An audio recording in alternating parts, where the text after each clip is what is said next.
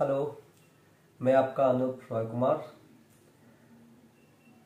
स्वागत है आपको मेरे यूट्यूब चैनल पे जिसका नाम है अनूप रॉय कुमार। और कुछ दिनों से आ, कुछ मैसेज आ रहा है कि सर तम्बा तम्बा लोगों का जो पैच है जो रिदम पैटर्न है वो आप लोग अपलोड करके थोड़ा दिखाइए दिखाइए। तो मैं हर टाइम यूट्यूब को फॉलो करता हूँ। यूट्यूब को देखता हूँ, कौन क्या मैसेज कर रहा है, कौन क्या कमेंट कर रहा है, मैं सब कुछ देखता हूँ।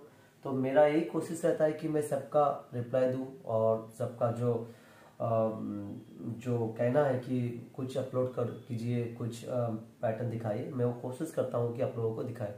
कुछ कुछ टाइम में होता नहीं है पॉसिबल क्योंकि अभी थोड़ा सा लॉकडाउन छुटकारा मिल गया है तो थोड़ा सा टाइम भी नहीं मिलता है।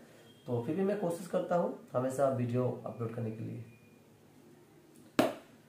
तो चलिए आज का जो सॉन्ग है, वो है तमा तमा लोगों, उसका जो पैटर्न है रिदम पैटर्न वो आप लोगों को दिखाते हैं। सॉन्ग नहीं प्ले करेंगे ऑनली रिदम टोन क्या है, वो पहले सुना देते हैं।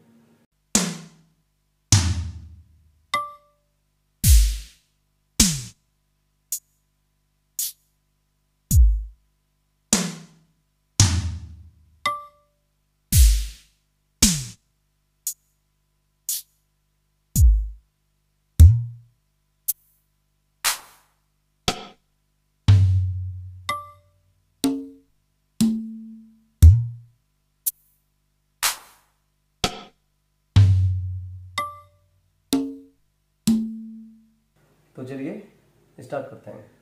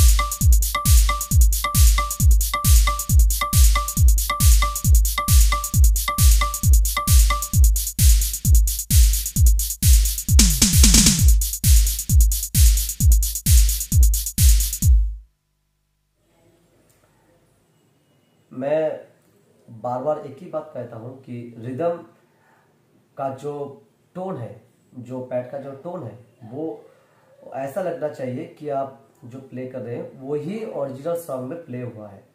तो ऐसा लगना चाहिए। तभी आपको लगेगा कि वो आपका जो पैच है एडिटिंग वो सक्सेस है। तो मैं कभी भी पैड में सॉन्ग प्ले नहीं करता हूँ। मुझे वो पसंद भी नहीं है।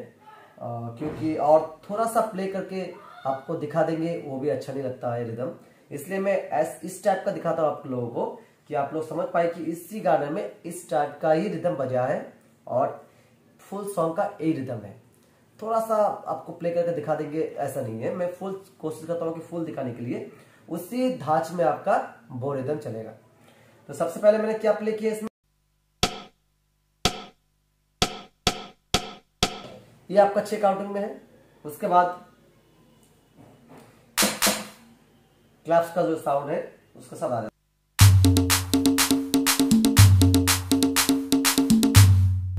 ये जो आपका साउंड है, ये आपको लगेगा कि आपका जो गाना है, जो सिंगर प्ले कर रहा है, उसके साथ जब आप प्ले करेंगे तो लगेगा कि आपका वही माहौल जो ओरिजिनल सॉन्ग में है, वो आपका आ रहा है रिदम में।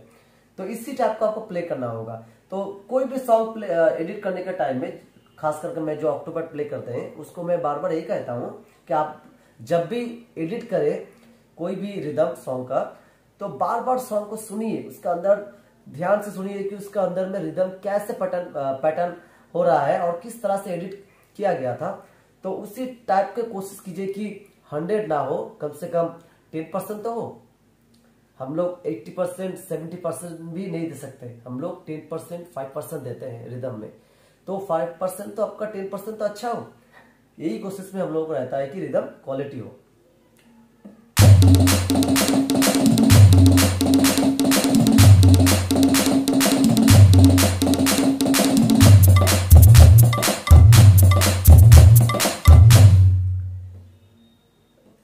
इसमें इसमें क्या होता है?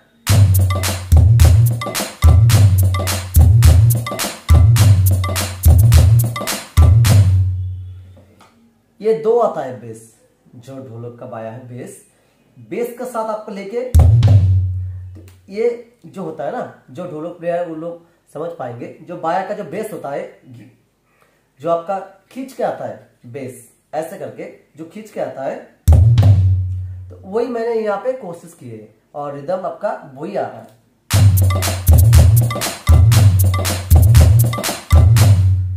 तो क्या हुआ इसमें? दो बार आपका बाया प्ले हुआ। खींच के वो बाय आपका प्ले हुआ। तो इसमें क्या होता है, जो रिदम पैटर्न है, वो इसमें साउंड निखर के आता है।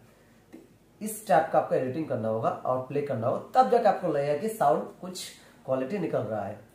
और यहाँ पे जो है, जो बेस ज़्यादातर पैडिस्ट जो ऑक्टोपैड प्ले करता है तो यहाँ पे बेस गिटार का जो साउंड यहाँ पे ऐड कर देता है। तो एक ही ट्यून में तो हर टाइम बेस गिटार नहीं चल रहा है ना? तो आपका डिस्टर्न हो रहा है। जब भी आप प्ले करेंगे तो आप जो बेस बेस प्ले कर रहे हैं इसमें, वो आपका बेस का जो पैटर्न है, वो हर टाइम ही एक ही ट्यूनिंग में नहीं चलता है। तो जहाँ की बात है कि आपका वो गलत हो रहा है। तो बेस पैटर्न बजाने की कोई ज़रूरत ही नहीं है बेस गिटार तो आपका है। तो इसी साथ आपका पार्कस्टर अगर यूज़ करते हैं।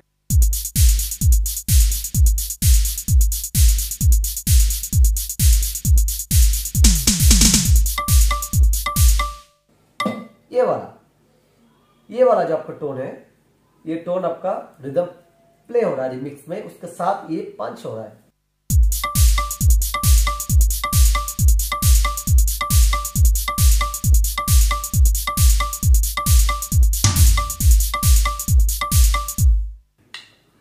और एंड में ये आपका आ रहा है। तो इसी तम्मा तम्मा लोगों का जो सॉन्ग है, जो रिदम है, इसका, इस टाइप का अगर आप प्ले करते हैं तो आपको अगर कोई सेलिब्रिटी आपके साथ आता है इस गाने गाने में सिंगर या तो नॉर्मल जो सिंगर हम लोग के साथ रेगुलरली जो गाता है, वो अगर आपका साथ अगर गाना गाता है तो आपको उन लोगों को लगेगा कि वही माहौल, वही फील आ रहा है। अगर आपका कोऑर्डिनेशन अच्छा हो, या तो जो आपका कॉर्ड दे रहा है गिटार कीबोर्ड प्लेयर जो अगर सही तरह से मायने में दे रहा है तो आपको लगेगा कि वो जो माहौल है, वो मजादार है। तो चलिए, आज के लिए इतना ही।